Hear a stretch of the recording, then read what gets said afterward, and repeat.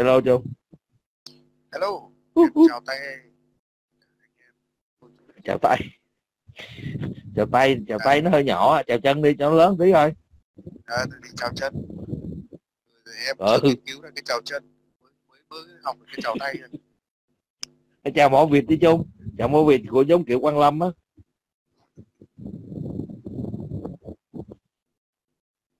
À, thì từ đầu em nghe, nghe qua thì thực ra mà nói thì quan điểm em nhận này thì có thể là, là nó sẽ có khoan khoan cái- Trung ơi khoan khoan Trung ơi hình như anh nghe anh nghe Trung hơi nhỏ để anh hỏi mọi người dưới coi nghe Trung rõ không nha.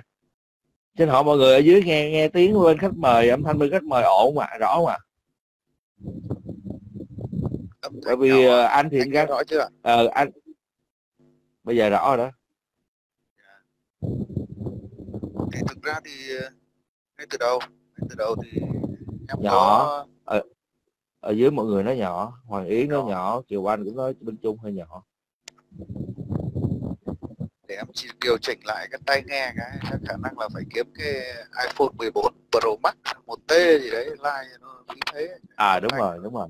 trong trẻo đấy. Phải có kiếm iPhone iPhone 14 á nghe nó mới ổn. À, iPhone 14 gì? Ông ông trốn rồi ông trốn rồi. Anh nhớ là ông hứa cho Trung rồi đúng không hứa cho Trung iPhone 14 ông trốn rồi. Nhắc chi ông trốn luôn rồi. Hôm hôm hôm nay em thấy ông đi mua ờ, ông mua cái gì? Em ờ, mua cái máy gì đó em tưởng đâu mua cái Robocop về nhà chơi chứ. Buồn quá mua về máy về chơi. máy hút bụi tức là máy hút bụi tự động nhá mà, mà nhưng mà bây giờ vậy này chung nè. Bây giờ anh em mình về đi cho dễ nè. À, chú cầm với anh bắc là dầu sao cũng là bạn thân chí cốt đúng không? Dạ. đúng không? Thì ở Việt Nam mình có câu cả cái gì à, à, cam làm quýt chịu hay là quýt làm cam chịu thôi quyết làm cam chịu. Quýt làm cam chịu đúng không? Thì bây giờ vậy đi. Bây giờ nếu mà ông cầm không làm á thì bắt ông bắt làm.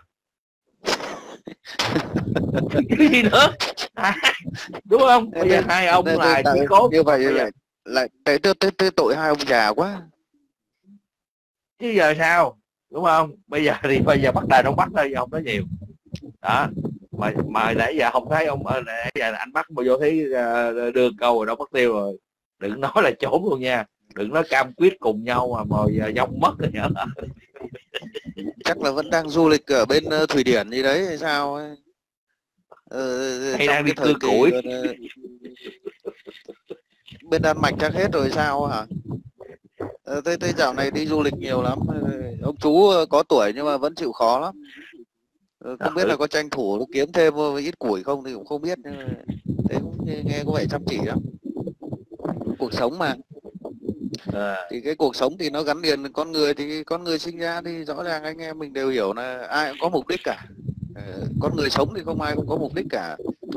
Ngay kể cả đến những anh mà anh hay tham gia World Cup anh nhảy cầu anh còn có mục đích nữa mà làm gì có chuyện không có mục đích đâu. Cái ờ, cái cái, cái góc độ nhìn nhận đấy. nhà thương thế nhưng mà thông trở lại cái chủ đề anh em mình đây, hôm nay đấy thì cái vấn đề về góc nhìn sự thật đấy cái gì đấy đúng không ạ? Sự thật đấy. Thì thực tế là mà nói là như thế này cái, cái góc nhìn của em là cá nhân nhé có thể là nó sẽ không Ừ. nó nó nó nó nó sẽ không trùng lặp hết với lại các quan điểm của anh hay là cô chú anh chị hay là kể cả là những người mà có ủng hộ anh Hoàng Duy Hùng hay không và cũng có những người là là không ủng hộ anh hay không thì thì chắc chắn là nó cũng sẽ có những vấn đề này vấn đề kia nó sẽ đạp vào nhau. Bởi vì nó là cái cuộc sống đan xen mà. Thì quan điểm cũng vậy thôi. Nó sẽ có sự đan xen nó không không không được hài hòa thế nhưng mà em nhìn nhận cái đầu tiên ở đây thì thông qua clip để chúng ta nghe thì chúng ta cũng biết rồi. Ờ, đối với em nhìn nhận nó là như thế này. Ờ, thực ra một con người thì anh ờ, sửa lại cái ngày tháng năm sinh hay là cái quê quán gì đó thì nó nói thẳng ra thì chúng ta có nói thẳng ra nó có nhiều lý do và mục đích đúng không ạ? Nó có nhiều lý do và mục đích trong đó. Chứ không thể không được không ai mà không có mục đích khi mà chúng ta làm một, bất cứ một vấn đề gì thì ngay từ đầu em có đề cập là con người sinh ra ai có mục đích cả cuộc sống này không ai không có mục đích. Thế nhưng mà em nhìn nhận chuyện này thì nó hết sức bình thường. Đấy bình thường thôi. Bởi vì là mỗi người có một cái lý do riêng của mình và mục đích riêng của mình.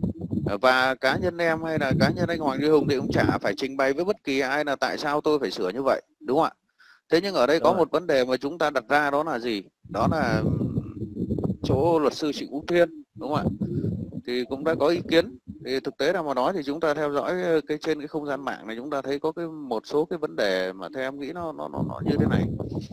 Ờ, đơn cử như cái vấn đề về các cái nội dung ở trên cái báo điện tử online của tạp chí Đảng Cộng sản đúng không ạ? Rồi có cái bài báo ở trên uh, uh, báo quân đội nhân dân uh, on điện tử.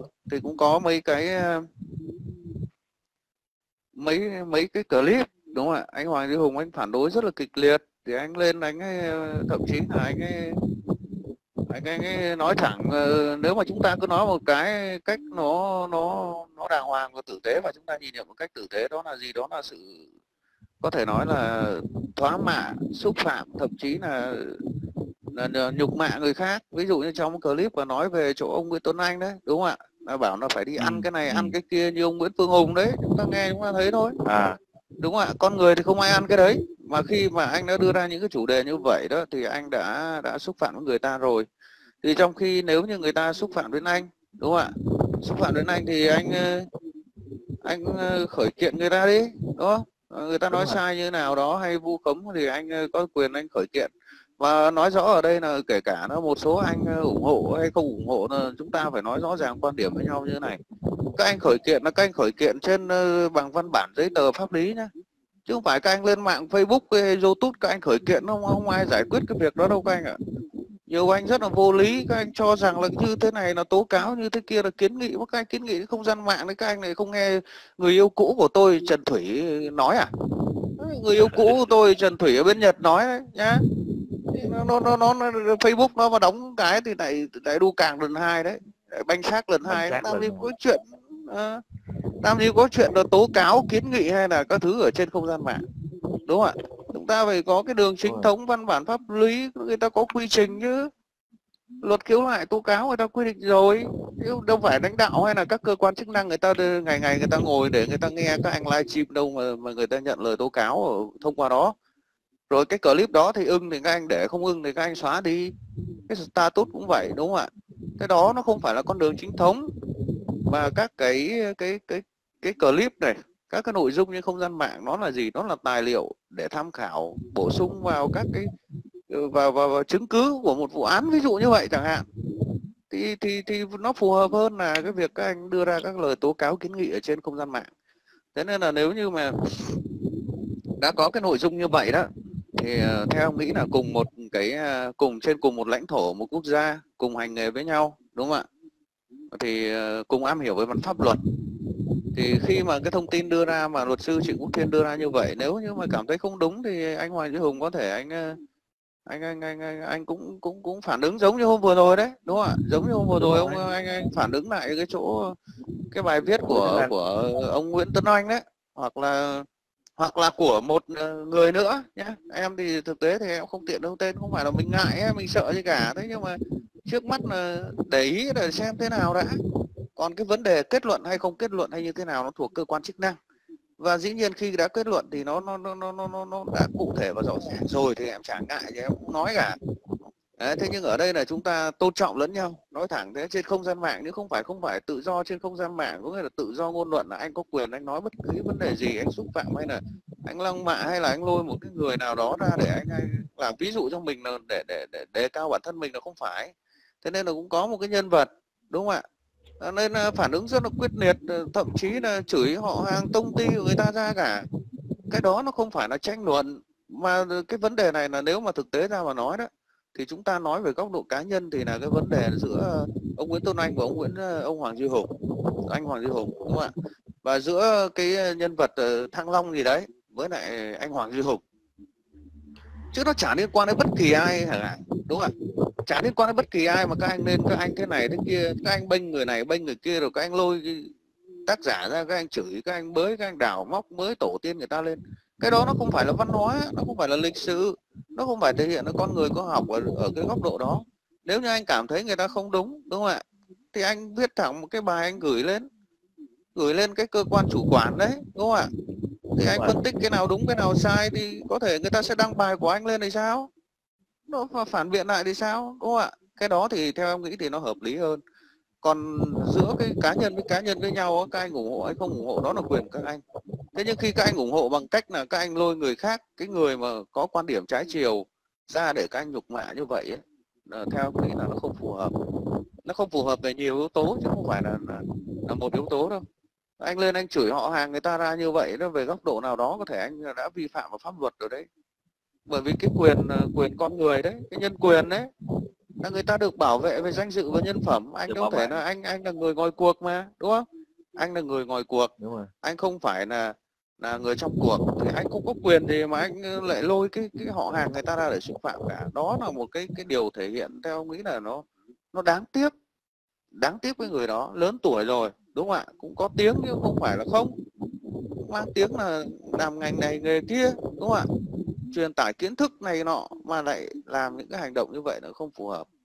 Còn bây giờ nếu như các anh cảm thấy là những cái nhân vật đó người ta không phù hợp người ta viết cái nội dung nào không phù hợp thì các anh cứ mạnh dạn lên. Ờ, còn người ta viết như vậy đó bây giờ em cũng nghe một cái clip nó cũng rất là hay như thế này.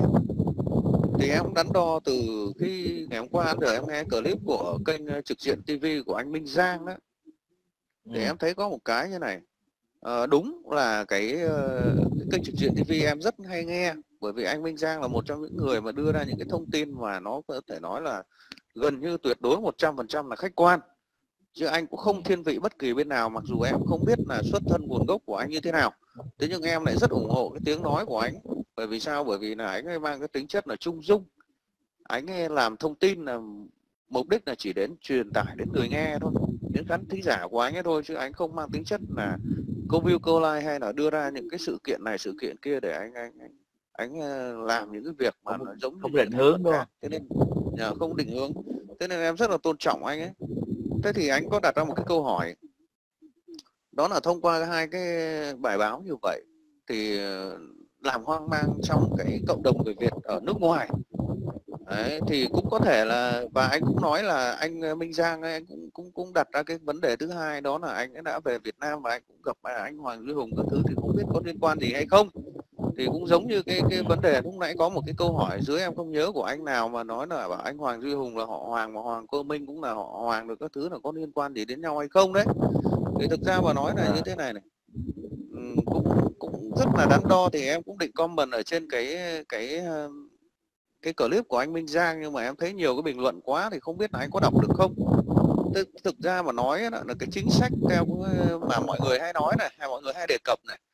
À, cứ hở ra một cái là nói về hòa hợp hòa giải dân tộc em thấy lạ thật.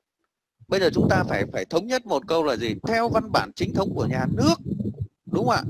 Chứ chúng ta không thể bịa ra bằng một cái văn bản đó mà chúng ta bịa ra một cái câu nói để chúng ta đánh cháo khái niệm hay là chúng ta đánh cháo đi cái bản chất của cái văn bản đó là không có được một nghị quyết của đảng nghị quyết 36 và chỉ thị 45 đúng không ạ? Đối với chính sách của đối với người Việt Nam ở nước ngoài thì chúng ta phải nói rõ.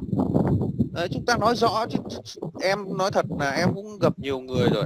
Em có hỏi các anh ờ, đọc được cái câu hòa hợp hòa giải dân tộc ở đâu thì thì nhờ các anh chỉ giáo cho cái để em em thế này này sáng dân trí cho em đấy.